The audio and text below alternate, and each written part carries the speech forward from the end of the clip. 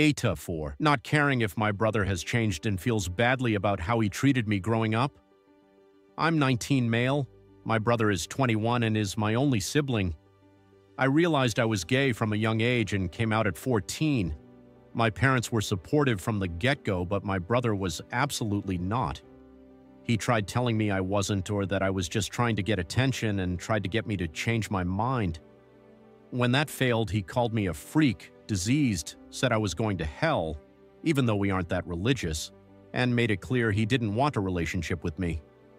He outed me at school, my friends already knew, and tried to get others to join in, but no one really cared and nothing much changed. Needless to say, I vowed to limit contact with him as much as possible, but the comments continued until he moved out when he turned 18 for school. I've since gotten into a great school and have completed a year and a half. I'm in a relationship, my grades are the best they've ever been, and everything seems to have fallen nicely into place. My brother sent me a Facebook message back in August.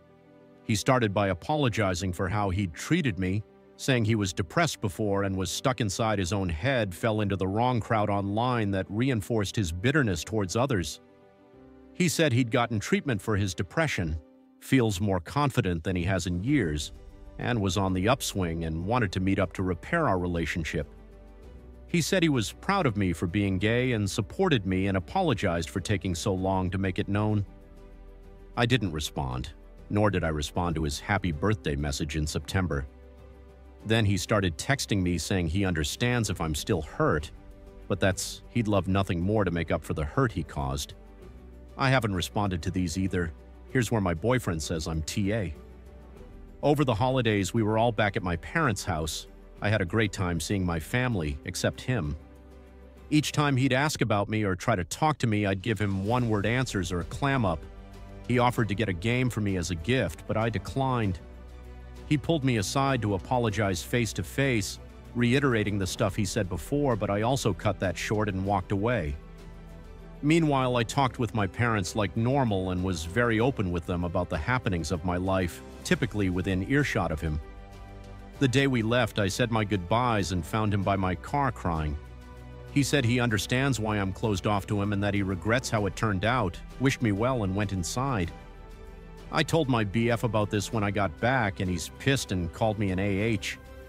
BF says it's clear my brother feels badly about how he used to be and he's changed, and that to throw that all back in his face is a dick move. My parents agree and say he's a good person, but ultimately feel it's up to us. Personally, I've gotten so used to the idea of not having a brother that I don't know if there's anything left to salvage. He made his choice to sabotage me then, is it really my problem he regrets his actions now? Update. So it's been a few months since my first post, and since a few people were asking, I thought I owed you an update.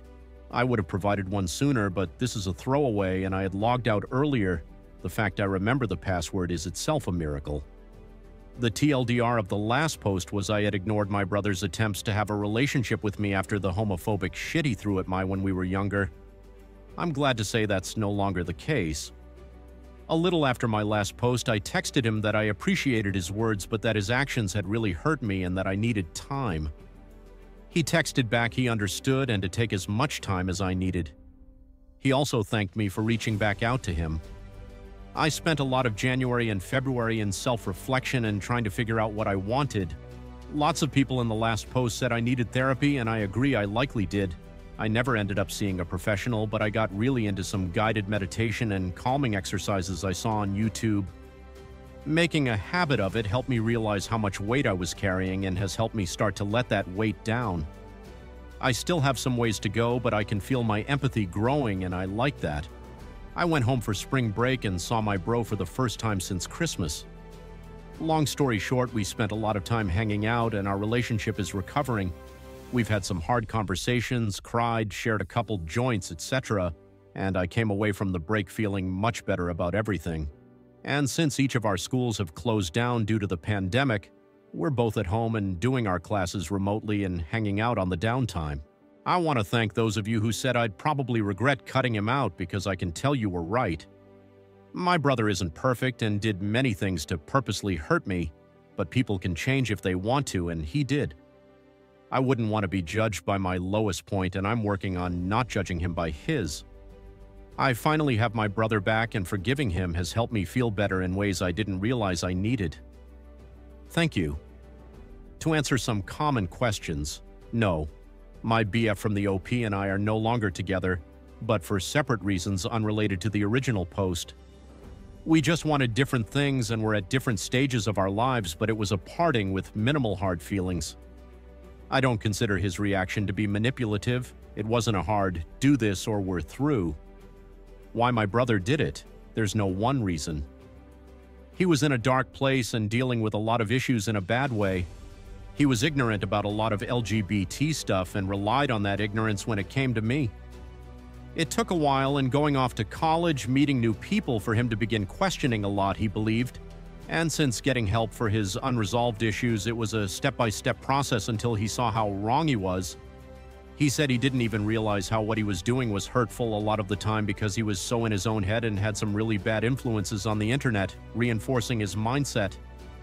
I can understand that, and I love how far he's come. Why didn't our parents intervene even though they always had my back? They did a lot of the time, but most of what he said did wasn't in their presence, and I was not one to go running to them each time I was the victim of something. They are good people, and I hold no animosity towards what they might have done instead. I'm thinking about showing my brother this in the previous thread so he has a better understanding of how I felt about this and may update later on how that goes.